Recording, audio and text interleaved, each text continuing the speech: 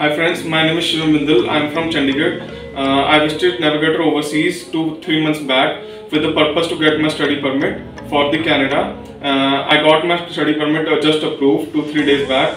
Uh, with a couple of days, within a couple of days, I was able to achieve my target.